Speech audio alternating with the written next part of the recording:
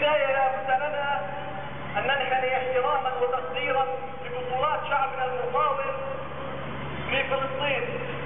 في 48 في الضفة في غزة وفي القدس في فلسطين كل فلسطين. الطفل الفلسطيني البطل اليوم يرسل للعالم